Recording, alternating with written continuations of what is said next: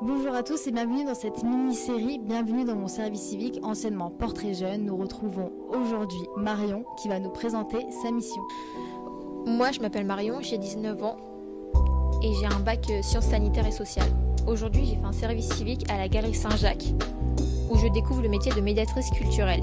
Médiatrice culturelle, c'est quoi? C'est une personne qui va gérer les montages et les démontages d'une exposition avec tous les ateliers qu'il y a autour et toute la communication qu'on fait autour. Alors peux-tu nous dire pourquoi est-ce que tu as choisi de faire ce service civique? J'ai choisi ce service civique parce que j'aimerais travailler plus tard dans la culture. Quelles étaient tes attentes par rapport à cette mission? Alors mes attentes, c'est de pouvoir mettre un pied du coup dans le monde de la culture et d'apprendre tout ce qu'il y a autour pour pouvoir travailler dedans par la suite, ce qui a été le cas. Me donner des exemples de missions?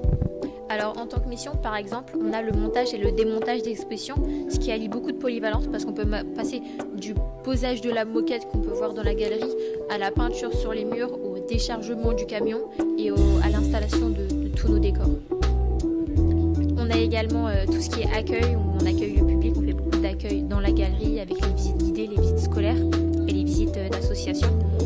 On anime aussi des ateliers qu'on crée nous-mêmes fait du coup dans l'atelier de la galerie. Peux-tu nous dire ta mission préférée? Alors ma mission préférée à moi c'est le montage qui du coup allie beaucoup de polyvalence.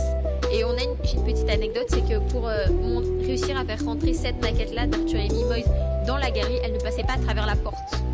Ce qui fait qu'avec euh, toute l'équipe, on a dû s'amuser à la porter, à la retourner un peu dans tous les sens pour trouver le bon angle qui passait, et c'est passé vraiment au millimètre près.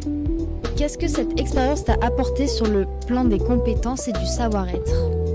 Alors sur le plan des compétences, ça m'a appris à gérer euh, beaucoup mieux en atelier, à mieux parler en public et à gérer des situations relativement compliquées qu'on peut avoir, euh, que ce soit sur un atelier ou pendant une visite guidée.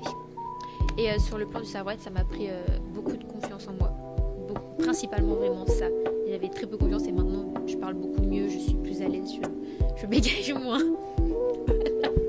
tu devais donner une note à ta mission sur 10 Je mettrais un 8 puisque déjà les personnes au bureau, mes collègues, sont, accueillants et hyper bienveillants. Et j'en apprends un peu tous les jours. Et on, me, donne, on fait beaucoup confiance et on me donne beaucoup de missions. Donc euh, franchement, 8, 9, 8 et demi. Comme ça, c'est un bon compromis. Aurais-tu un message pour les jeunes qui aimeraient faire le même service civique que toi? Alors euh, franchement, n'hésitez pas. Si vous aimez la culture, que vous aimez l'art, n'hésitez pas à postuler. Les gens, ils sont hyper